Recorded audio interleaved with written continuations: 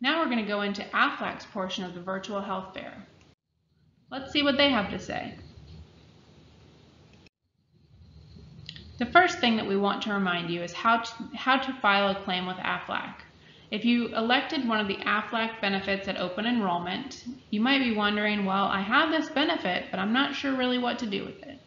So we're going to review the benefits again after this slide, but how do you file a claim online? You just simply visit aflacgroupinsurance.com, select customer service, and then file a claim.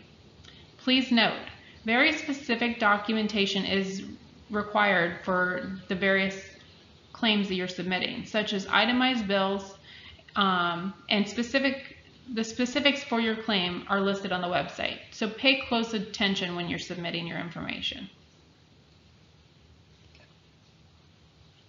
Just click on the File a Claim button.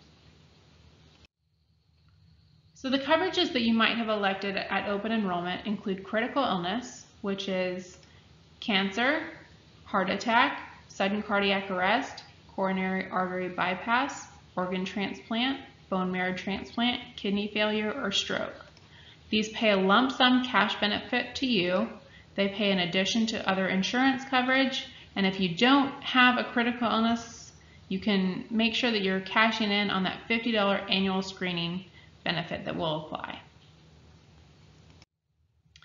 Also, the hospital indemnity.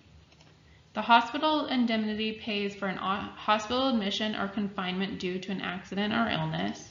It pays a lump sum cash benefit to you in addition to other insurance coverage. Um, and we offered it in two tiers, a high and a low plan. So make sure that you know which plan you're, you're on before you file a claim.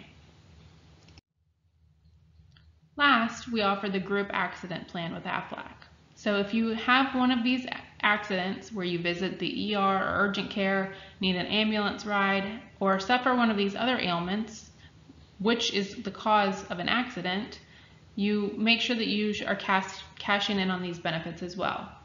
This also comes with a annual health screening benefit that still applies. So if you are fortunate enough to not experience an accident, make sure that you're redeeming that annual health screening benefit.